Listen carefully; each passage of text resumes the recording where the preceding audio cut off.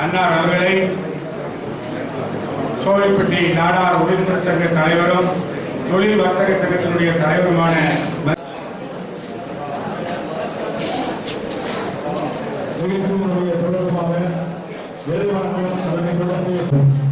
போல பள்ளியினுடைய தலைமையாசிரியர் திரு அவர்கள்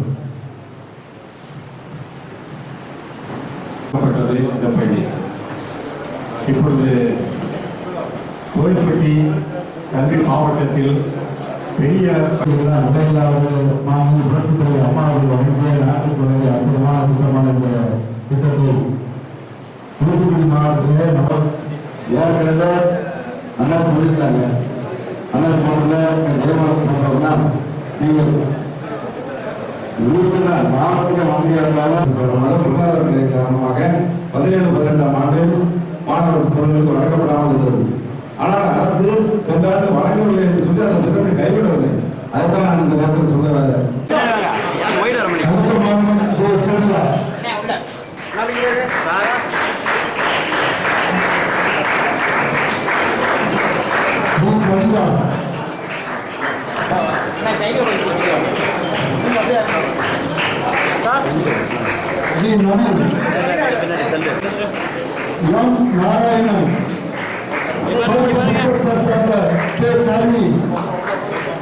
ஓய்வு வருகின்ற காரணத்தினால் நடைமுறையில் அரசு வந்து நிர்வாகத்தின் காரணமாக நிர்வாக அடிப்படையில் ஒருவர் ஓய்வு வருகின்ற நேரத்தில் அந்த இடத்திற்கு யாரை அடுத்தவரை நியமிப்பது என்பது மரபு. அந்த வகையில் இன்றைக்கு அபயகுமார் சிங் என்பவரை டிஜியாக அவரை அந்த பொறுப்பில் அரசு சட்ட விதிகளின்படி மரபுகளின்படி நியமித்தது.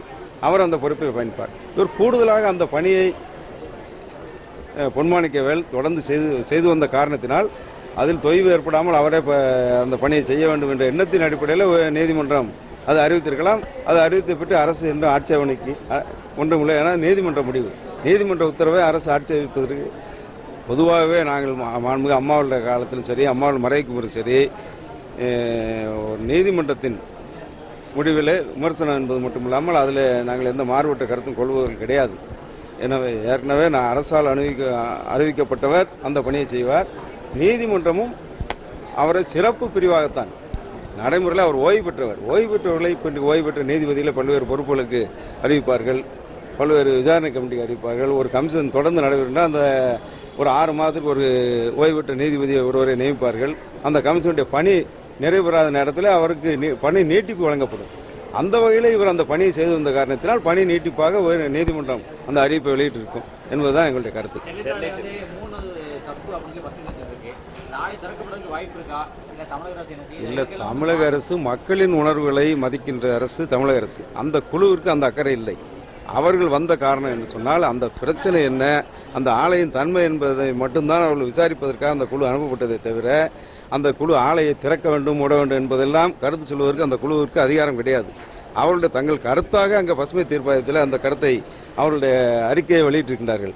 ஆனால் அந்த சம்பவம் நடந்த பிறகு அந்த ஸ்டெர்லைட் ஆலையுடைய தன்மையும் அங்கே உள்ள பிரச்சனைகளை பற்றி ஆராயத்தான் அந்த குழு வந்தது தவிர ஆலையை பற்றி திறக்க வேண்டும் இல்லை மூட வேண்டும் என்பதெல்லாம் செய்ய வேண்டியது இன்றைக்கு மாநில அரசின் எந்த ஆலை அது மத்திய அரசு பசுமை தீர்ப்பாயத்திலும் சரி பல்வேறு மத்திய அரசின் நிலைப்பாட்டில் உள்ள துறைகளின் மூலமாக வந்தாலும் கூட அந்த மாநிலங்களில் எந்தெந்த மாநிலங்களில் எந்த ஆலைகள் இயங்குகிறதோ அதை கட்டுப்படுத்துவதற்கு மாநிலத்தில் ஒரு அமைப்பு உண்டு. நிச்சயமாக செல்லட்டு ஆலையை பொறுத்தளவில் இங்கே சுற்றுச்சூழல் மாசு கட்டுப்பாட்டு வாரியம் ஏற்கனவே நான் பல்வேறு நிலைகளில் சொல்லியிருக்கின்றேன். நமது மாவட்ட பிரச்சனை காரணத்தினால் போராட்டம் துவங்கி அரசு அதை வேடிக்கை பார்த்து கொண்டிருக்காமல் பல்வேறு காலகட்டங்களில் நாங்கள் பல்வேறு துறைகளில் பல்வேறு அலுவலர்கள் மட்டத்தில் அதிகாரிகள் மட்டத்தில் அந்த ஸ்டெர்லைட் நிர்வாகக் குழுவின் மட்டத்தில் பேசிய பேச்சுவார்த்தையின் காரணமாகத்தான் போராட்டம் ஆரம்பித்து பல்வேறு நிலைகளில் பேச்சுவார்த்தையை கடந்து நாற்பதாவது நாளிலேயே ஏப்ரல் ஒன்பதாம் தேதியே மாசு கட்டுப்பாட்டு வாரியத்தின் மூலமாக அந்த ஆலையின் உரிமத்தை புதுப்பிக்காமல் உடனடியாக ஆலையை ஸ்தம்பிக்க செய்தது மாநில அரசு. மாண்புமிகு அம்மாவின் அரசு. அதற்கு பிறகு அதற்கு பிறகு நான் உங்களுக்கு தெரியும் ஊடகத்துறை சேர்ந்த நண்பர்கள் மூலமாக பத்திரிகைகள் மூலமாக நமது மாவட்ட மக்களுக்கு ஸ்டெர்லைட் போ- போராட்ட எதிர்ப்பாளர் குழுக்களுக்கு பல்வேறு அறிக்கைகளை வெளியிட்டோம். நான் மட்டுமல்ல மாவட்ட நிர்வாகம் அரசும் பல்வேறு அறிக்கைகளை வெளியிட்டு ஆலை மூடப்பட்டு விட்டது. மூடப்பட்ட ஆலைக்கு இனிமேல் போராட்டம் வேண்டாம் என்ற நிலைப்பாட்டில் நாங்கள் தெளிவாக மக்களுக்கு எடுத்து சொன்னோம். சில பேர் தவறுதலான வழிகாட்டினால் நூறாவது நாள் என்று ஒன்று உருவாக்கி அதன் காரணமாகத்தான் அப்படிப்பட்ட ஒரு அசம்பாவிதமான சம்பவம் மே இருபத்தி ரெண்டாம் தேதி நடைபெற்றதை தவிர அந்த மே இருபத்தி ரெண்டாம் தேதி நூறாவது நாள் அத்தகைய அசம்பாவிதம் நடப்பதற்கு கிட்டத்தட்ட அறுபது நாளைக்கு முன்பாகவே ஆலை மூடப்பட்டு விட்டது. ஏப்ரல் ஒன்பதாம் தேதியே மாசு கட்டுப்பாட்டு வாரியத்தின் மூலமாக அந்த ல- லைசன்ஸ் உரிமம் புதுப்பிக்கப்படாமல் இன்றைக்கும் அது புதுப்பிக்கப்படவில்லை. இன்னைக்கு பசுமை தீர்ப்பாக என்ன எத்தகைய நிலைப்பாட்டை எடுத்தாலும் கூட இறுதியாக மாசு கட்டுப்பாட்டு வாரியம் அந்த ஆலையின் உரிமத்தை புதுப்பித்தால்தான் ஆலை இயங்க முடியும் என்பதிலே அரசு உறுதிப்பாட்டு வருகின்றது. இதை என்ற அன்றைக்கு எப்படி அரசியல் செய்து பதிமூன்று பேரில் உயிர்களை பழிவாங்குவதற்கு அரசியலாக்கி பல்வேறு அரசியல் கட்சிகள்லாம் சொன்னார்களோ அந்த நிலைப்பாட்டை இப்பொழுது மீண்டும் எடுத்திருக்கின்றார்கள். நாங்கள் மக்களுக்கு வைக்கின்ற வேண்டுகோள் அதுதான். இதை அரசியலாக்கி பார்க்க வேண்டாம். இந்த அரசியல் கட்சிகள் அவர்களுக்கும் வேண்டுகோள் வைக்க கடமைப்பட்டிருக்கின்றோம். என்று சொன்னால் மிக விரும்பத்தகாத சம்பவம் நமது மாவட்டத்தில் பதிமூன்று பேர்கள் பலியான சம்பவம். இப்படி தவறுதலான கருத்துக்களை மக்களுடைய பரப்பிய காரணத்தினால்தான் அப்படிப்பட்ட சம்பவம் நடந்ததை தவிர இனிமேலும் அப்படிப்பட்ட துப்பாக்கி நிலைக்கு மக்களை தூண்டிவிட வேண்டாம் என்பதை நான் கேட்டுக்கொள்கிறேன்.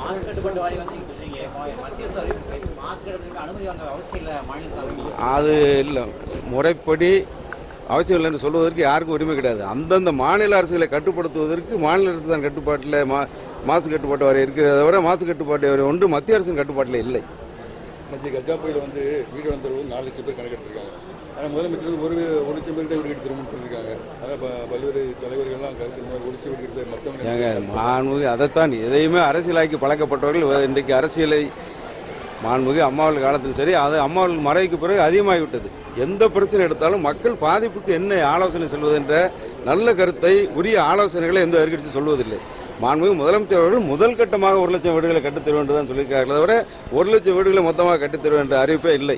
அந்த அறிவிப்பை கூட பார்க்காமல் இல்லை. தெரிந்து கொண்டுதான் எதையாவது வைத்து அரசியல் செய்ய வேண்டும் என்பதில் மக்கள் பாதிக்கப்பட்டதை கூட இன்றைக்கு கஜா புயலை கூட அரசியல் செய்யணும் என்றால் அரசியலில் மிக தேவையற்ற மக்களின் உணர்வு மக்களின் பாதிப்புகளை கூட அரசியல் செய்கின்ற நிலைமை இன்றைக்கு தமிழகத்தில் இருக்கிறது அது ஆரோக்கியமான அரசியல் அல்ல என்பதை நான் தெரிவித்துக்கிறேன்